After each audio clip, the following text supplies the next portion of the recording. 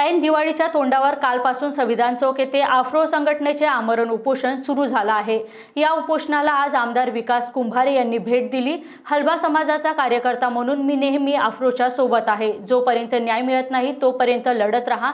मी समाजाचा कार्यकर्ता म्हणून तुमच्या पाठीशी आहे असे यावेळी ते म्हणाले. उपस्थित मला आजच माहीत झालं की संविधान चौकात अप्रोडचे संघटनातले पदाधिकारी उपोषणाला बसले आहेत. अप्रोड संघटनेने पत जे पत्र होतं ते माझ्याकडे दिलं. पण मी कालच मुंबईवरून आलो आणि ते पत्र मला मिळालं नाही त्यामुळे मला कल्पना नव्हती. शिवानंद सहारकर आणि मी मागील अनेक वर्षापासून या हलबा समाजाला न्याय मिळावा याकरता आम्ही प्रयत्नशील आहोत. आणि आता नुकतंच मुंबईसुद्धा या अप्रोक संघटनेतर्फे आंदोलन झालं होतं आझाद मैदानात तिथेही मी गेलो होतो. सर्वप्रथम मी हलबा समाजाचा नेता नेते कार्यकर्ता आहे. आणि हा कार्यकर्ता म्हणूनच मी आतापर्यंत काम केलं आणि या अप्रोक संघटनेने जे काही आंदोलन उभारलं आहे ऐन दिवाळीच्या मुख्यावर म्हणजे आमची तीव्रता किती मोठी आहे हे यावरून लक्षात येते. तशी आमची समाजाची पूर्ण काळी होळी आपली दिवाळी जी आहे ते काही काळी काळीसारखीच आहे.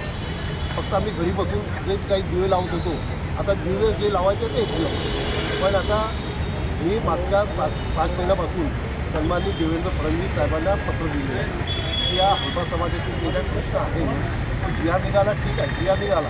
पण त्यानंतर त्यात अनेक त्रुटी आहेत. आमचे मुंबईचे देशमधले कर्मचारी आहेत त्यांना पण प्रॉब्लेम होतो आहे अशी अनेक कर्मचारी आहेत. त्यांना ज्यांना प्रॉब्लेम होतो आहे. आणि त्या प्रॉब्लेममुळे आम्ही सन्माननीय देवेंद्र फडणवीस साहेबांना पाच महिन्या आधी पत्र दिलेलं आहे. आणि प्रत्येक महिन्यात एक पत्र देतो.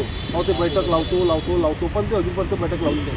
मी आता मागच्या आठवड्यातच जाऊन आलो आणि त्यांना स्पष्ट सांगितले कारण तुम्हाला बैठक लावायची असेल सांगा मला तर मी समाजातल्या लोकांना सांगतो तर बाबा ते बैठक लागणार नाही आहे नाही नाही म्हणे आपण आता दिवाळीनंतर शंभर टक्के बैठक लावू. आमदार कुंभारे साहेब आमच्या हलवा समाजाचे आहेत. अन्यायग्रस्ताचे नेते मानतो एकतीस जमातीचे नेते आहेत ते.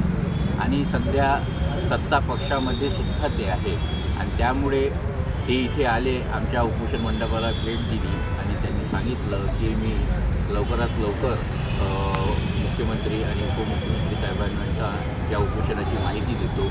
आणि तुमचं उपोषण कसं सुरू असेल आणि मागणी कशी पूर्ण होईल यावरची त्यांच्या कानावर लागतो त्यांनी हेही सांगितलं की दर महिन्याला म्हणजे जवळपास त्यांनी ती डेप्टी सी एमला बरीच पत्र दिली. त्याची कॉपी माझ्याजवळ आहे. आताच दोन दिवसाआधी माझ्याकडे कॉपी आली. आम्हाला माहीत आहे विकास भाऊ आमच्यासाठी प्रयत्न करत आहे. परंतु कधी कधी आमदाराच्या हातात ही गोष्ट नसते. कारण की हे जे धोरणात्मक निर्णय आहे हे मुख्यमंत्री उपमुख्यमंत्री आणि त्या म, राज्याचे मंत्री